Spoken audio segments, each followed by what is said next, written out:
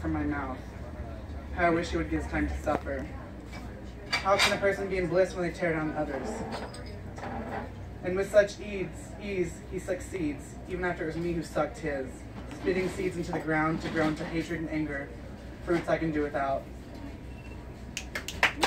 Beside me, upon awakening you had strayed.